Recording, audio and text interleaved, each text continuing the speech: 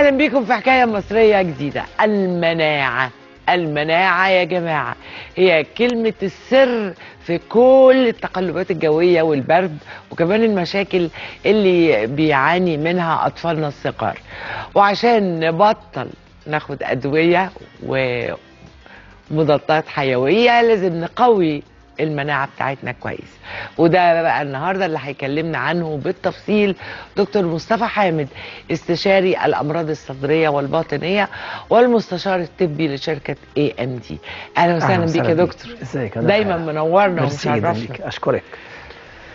آه، اطفال والمناعة. صاحبتنا. آه. الأيام دي جيوب الأنفية يا دكتور. كتير كتير جدا فعلا. كتير. وبالذات إن أنت معاكي إنتقال فصول غير طبيعي انخفاض درجة حرارة آه، رياح محملة باتربه و وتراب ناعم بطريقة آه، شديدة لدرجة إن ممكن التراب ده يدخل جوه البيوت نفسه مع إن إحنا أيوة، قافلين كويس جدا آه. ويمكن كل واحد ملاحظ إن لو على سطح مكتب أي حاجة أيوة. ماشية إيديه كده وأنا قافل وكل حاجة بيلاقي ترابة ناعمة تخيل إنك أنت قدرت تشوفها طب اللي بيدخل جوه منطقة الأنف عندنا قد إيه مم. عشان كده يمكن الأيام دي فعلا لابد إن نقطة كلمة جيوب أنفية بنقف عندها كتير قوي جيوب أنفية في ناس ممكن تبقى مرضى جيوب أنفية وفي ناس already هي مرضى جيوب أنفية وبتعاني في هذه الأيام. يعني أنا بتكلم على التهابات الجيوب الانفيه الحادة والمزمنة. هو إيه الفرق بقى دكتور؟ آه فرق طبعا بين الاثنين فرق كبير. أنا آه. عندي التهاب الجيوب الانفيه الحاد وده بيبقى أقل من ثلاث أسابيع. يعني بمعنى صح ثلاث من ثلاث أسابيع لثلاث شهور. ده بيبقى حاد. ولكن التهاب الجيوب الانفيه المزمن ده بيعدي الثلاث شهور. يعني إحنا مشكلة عندنا في كذا حاجة ممكن تعمل التهاب جيوب أنفية. إحنا طب أول حاجة ممكن العدوى. الجو اللي إحنا فيه المؤثرات المهيجات اللي إحنا بنشوفها التراب الناعم كل ده ممكن يعمل التهاب جيوب أنفية. تاني حاجة ممكن تبقى في مشكلة اوريدي عندي ودي اللي بتوصلني لحاجة مزمنة زي مثلا انعواج الحاجز الأنفي. ممكن يكون نتيجة حاجة الشخص بيبقى مولود بيها أو ممكن يكون اتعرض لحادث وحصل انعواج في الحاجز الانفي كل ده بيترتب عنه التهاب في الجيوب الانفية. ممكن يبقى في زوائد آه، في الانف زي اللي بنقول عليها اللحمية انفية. فدي بالتالي برضه بتعمل معانا التهابات في الجيوب الانفية. ولكن إمتى أقدر اتصرف مع الاثنين يعني هل التهابات الجيوب الانفية الحادة غير المزمنة؟ مبدئيا إحنا لابد نبقى عارفين ان أنا في حالة اهمالي لالتهابات الجيوب الأنفية الحاده هي اوريدي بتتحول لالتهابات مزمنة. مزمنة وكمان أنت ممكن تعاني منها حتى في فترات مختلفة من السنة وخصوصا في الفترات اللي إحنا زي فيها دلوقتي مم. طيب هل في ممكن طريقة للوقاية من النقطة دي؟ أنا قبل ما أقول للوقاية أنا أحب أنوه إن في بعض الناس بت بتستسهل الموضوع أو تستخف بيه. موضوع الجيوب الأنفية يقول لك أه أنا عارف إن أنا عندي جيوب أنفية، يعني هعمل إيه؟ هو مبدئيا لابد إنك أنت تعرف إيه المشاكل اللي ممكن تعملها لك الجيوب الأنفية. أيوه. الجيوب الأنفية ممكن تعمل لك مشاكل كتيرة جدا. من ضمنها إن رقم واحد ممكن تعمل لك حساسية صدر. بالذات حساسية الجيوب الأنفية. تقدر بالتناوب تقدر على المدى بعد كده إنك توصلك لحساسية صدر. يبقى في صعوبة في التنفس. طب هوصل إزاي لحساسية الصدر؟ already أنا المخ... المدخل لدخول الهواء الطبيعي هو عن طريق الأنف. اللي ربنا خلقها لنا عشان بتبقى فيه filters معينة بتنقي الهواء وهو داخل. أيوه. من تراب بقى من فيروسات من بكتيريا. انت نقلت النقطة دي اللي هي حصل انسداد لأن أنا مش قادر آخد نفسي من المنطقة اللي فوق فبالتالي هبدأ آخد نفسي عن طريق الفم. أيوة. سواء كنت صاحي سواء كنت نايم وبالأخص وأنا نايم. كده بدأت عرضت الجهاز التنفسي عندي ل challenge أكتر أيوة. لتحدي أكبر. طبعا. طيب هل من الممكن إن أنا أقدر أقف مع جسمي في القصة اللي زي دي؟ آه طبعا أنت تقدر تقف مع جسمك عن طريق vitamins معينة تقدر تديها لجسمك تقوي جهاز المناعة عندك. لأن أنت في الأول وفي الآخر نقطة الجهاز المناعي هي نقطة مهمة جدا في القصة اللي زي دي. بل إن أنا كمان محتاج أقلل الالتهاب. طيب فيتامين الف ودال والأوميجا 3 الثلاثه مع بعض ما يستغنوش عن بعض بحيث إن كل واحد منهم بيكمل التاني في المشكلة اللي زي كده. إزاي الكلام ده؟ مبدئيا الثلاثه من الفيتامين دول بيبقوا موجودين في حاجة واحدة الثلاثه متجمعين بس في حاجة واحدة اللي هي زيت كبد الحوت. المعروفة في مصر باسم الكلوسيز وممكن بره مصر تبقى معروفة بأسماء تانية تانية. المهم كلمة السر اللي هي زيت كبد الحوت اللي باسم الكلوسيز طيب هيفيدني في إيه؟ في مريض زي كده سواء كان التهاب مزمن أو التهاب حاد. مبدئيا أنا بتكلم في مشكلة في الأغشية المخاطية في منطقة الأنف. ما دام في مشكلة يبقى اعرف تماما إن قدرة الخلايا المناعية في المنطقة دي بتقل جدا وبتقل خالص. مع إني أنا محتاجها جدا عشان تقدر تسيطر على العدوى لو في عدوى فيروسية أو بكتيرية. فبالتالي أنا محتاج أزود القدرة. مين اللي هيزود القدرة دي؟ مع العلم إن في ملايين من الخلايا بتبقى ما- ماتت بسبب بس انخفاض درجة الحرارة. طيب فيتامين ألف هو ليه قدرة غير عادية. إحنا كلنا عارفين فيتامين ألف إن هو فيتامين الجمال. ولكن أنا أحب أنوه إن هو كلمة الصحة قبل ما يكون الجمال. طيب هو هيزود القدرة الدفاعية بتاعة الأغشية المخاطية دي اللي اوريدي بتكون تعبانة. نتيجة وجود التهاب موجود فيها. دي نقطة. النقطة الثانية أنا بحاول أأمن نقطة الجهاز التنفسي السفلي اللي هو صدرنا. ودايما تبقى عارف إن منطقه الرئتين منطقة الجهاز التنفسي السفلي عندي ليها أهمية كبيرة جدا. آه ما تقلش أهمية عن الجهاز التنفسي العلوي ولكن أهميتها إن أنا عندي حساسية الصدر بتبقى أكتر وأشد من حساسية الجيوب الأنفية. الشخص ممكن يقدر يتماشى مع حساسية الجيوب الأنفية لكن حساسية الصدر للأسف هو رقم واحد بتقلل نسبة الأكسجين تبادل الأكسجين ما بين الرئة والحويصلات الهوائية وما بين الدم فبالتالي مجهود الشخص بيقل. فبالتالي قدرته على إنه ينتج أو على إنه يقدر يعمل آه، مجهود بيبقى قليل قوي معانا دي نقطة. النقطة الثانية أنا محتاج حاجة تزود المناعة. فيتامين د المكون الثاني من الكولوسيس بيقدر يعلي كفاءة الجهاز التنفسي السفلي عندي. ده غير إنه بيحسن وظائف التنفس عندي.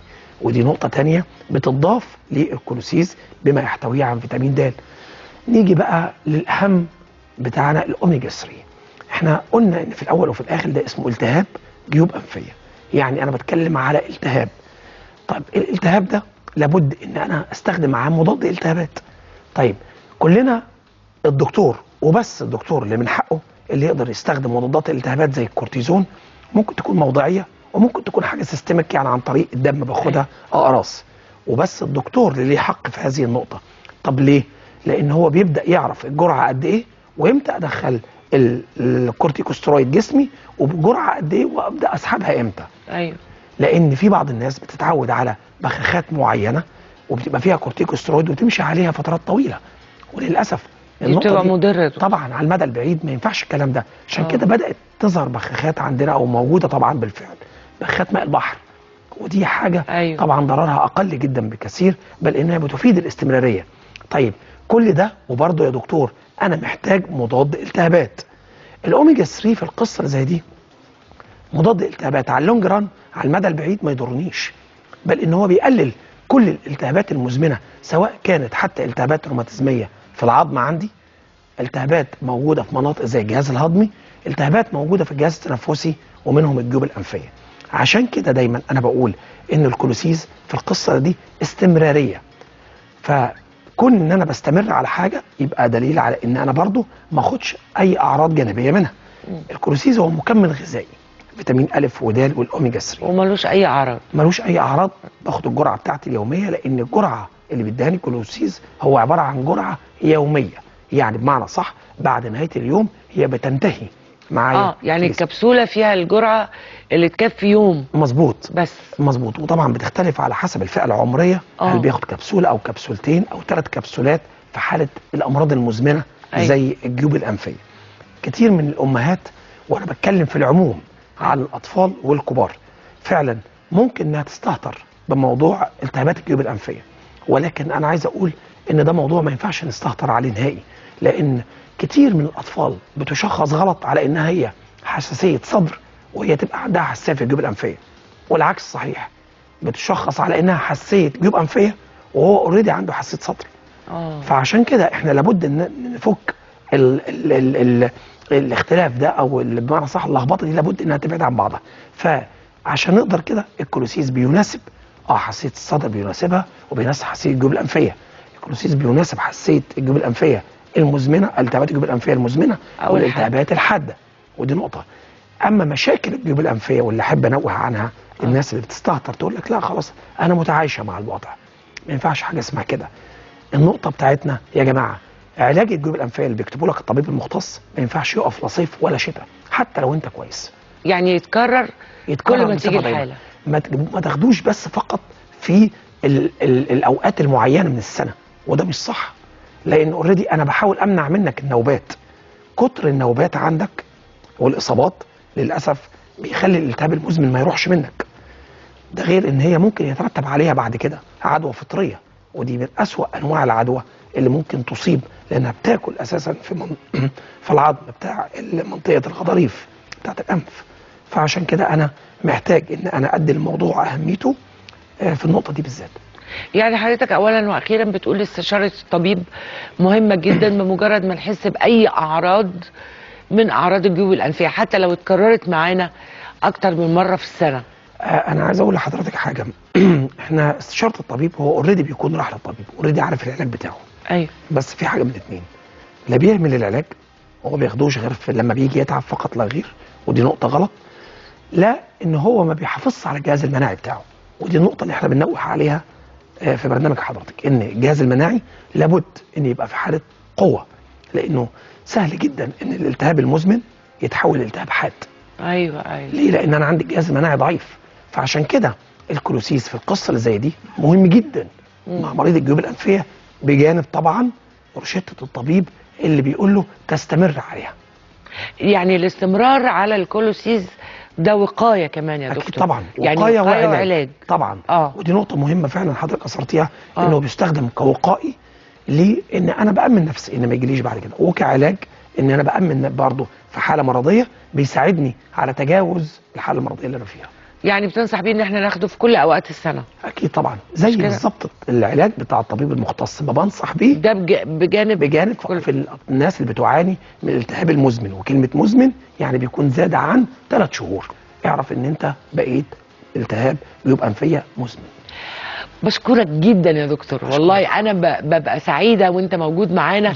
لأن فعلا الواحد بيحس بطمأنينة وبيحس بأمان. أشكرك إنه يعني إن شاء الله كل الناس تبقى ما عندهاش أي أمراض وما عندهاش أي حاجة وحشة باستشارة الدكتور مصطفى حامد. بشكره جدا استشاري الأمراض الصدرية والباطنية والمستشار الطبي لشركة اي ام دي بشكر حضرتك شكرا جزيلا وأشوفكم على خير وحب وسعادة في حلقة جديدة.